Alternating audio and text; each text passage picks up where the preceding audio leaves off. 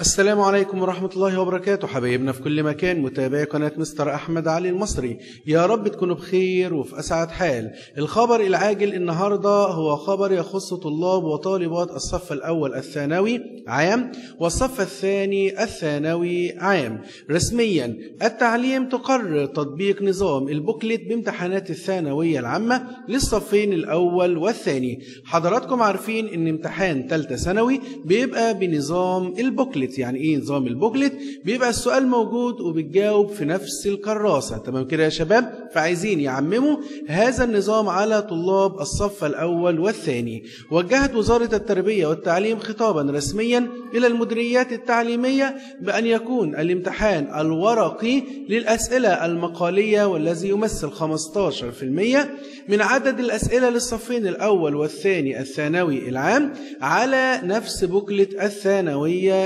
العامة يعني الامتحانات اللي سيادتك هتمتحنها ورقيا طلاب الصف الأول الثانوي وطلاب الصف الثاني الثانوي في جزء ورقي. 15% من عدد الأسئلة هيكون بنظام البوكلت يعني هتجاوب في نفس الكراسة بتاعة الأسئلة. وقالت الوزارة تطبيق نظام البوكلت يعني أن تكون ورقة الأسئلة هي نفسها ورقة الإجابة. على أن تحتوي ورقة الامتحان على ورقة بيضاء كمسودة للطالب. تمام كده يا شباب؟ عشان يدربوا حضرتك على نظام ثالثة ثانوي اللي هو نظام البوكلت تمام كده يا شباب؟ يبقى سيادتك أولى ثانوي ثانية ثانوي أنت بتمتحن على التابلت. في 15% من عدد هذه الأسئلة بيبقى مقالي. هتمتحنوا إن شاء الله ورقيا بس بنظام البوكلت زي الثانوية العامة. ده يا شباب من القرارات الأخيرة التي التي تخص وزارة التربية والتعليم بخصوص حبايبنا وطلابنا طلاب الصف الأول والثاني الثانوي العام.